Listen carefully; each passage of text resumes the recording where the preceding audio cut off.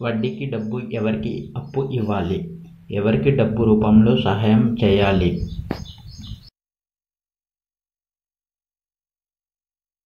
కుటుంబ సభ్యులు రక్త సంబంధికులు ప్రాణ స్నేహితులకు ఆర్థికపరమైన ఇబ్బందులు ఉన్నప్పుడు సహాయం చేయాలి కానీ వడ్డీకి డబ్బు ఇచ్చి వాళ్ళను వేధించకూడదు. వాళ్ళు కష్టాలు తిన్నప్పుడు తిరిగి అసలు డబ్బు ఇచ్చినప్పుడే తీసుకోవాలి. అంతేగాని అసలు మరియు వడ్డీ ఇవ్వమని వేధించకూడదు.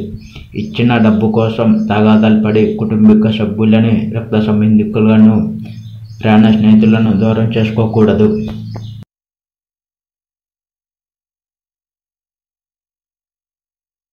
పరువులకి వడ్డీకి డబ్బు అప్పు ఇచ్చినప్పుడు పరువులు నిజంగానే కష్టాలు పడుతుంటే వడ్డీ మాఫీ చేసి అసలు మాత్రమే తీసుకోవాలి. అంతేగాని వడ్డీ వంకతో వాళ్ళు ఆస్తులు దోసుకోకూడదు.